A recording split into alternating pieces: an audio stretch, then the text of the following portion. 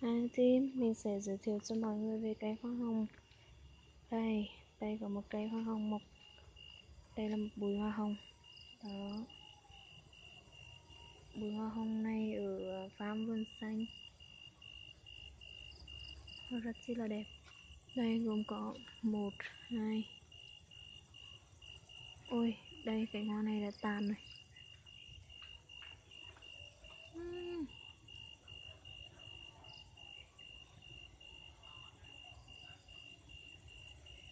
in đây màu cam nhạt.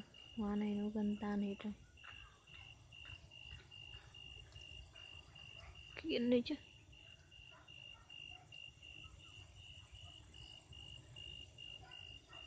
Mình sẽ giảm độ sáng của nó đó, giảm nữa cái đó.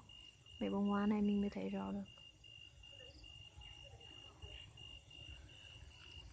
Hoa hồng nào cũng có gai cả. Cái này có gai nhiều lắm. Đây, một bông, hai bông, ba bông, bốn bông, năm bông, sáu bông, bảy bông, tám bông, chín bông, mười bông. Đó. Các bông hoa này thì trời mới mưa nên là nó đang ướt. Ừ.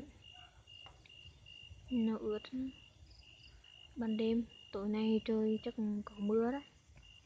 Đây đây là cây hoa hồng đây đây là cái cây của nó. Đây đây là gai gây của nó này. Hồng này gây này gây nó ghê không? Đây đây là những cái gáy của nó. Đó. nó đấm rất đau nhé đây đây là một bụi hồng. Một bụi hồng dành cho mắt ai này.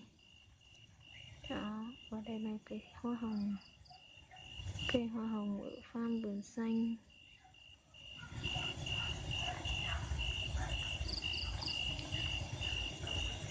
đó lam nhạt thôi.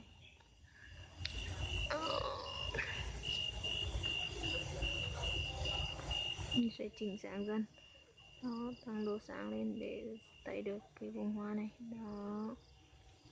Đó, nhìn như ban ngày vậy rất chưa là đẹp.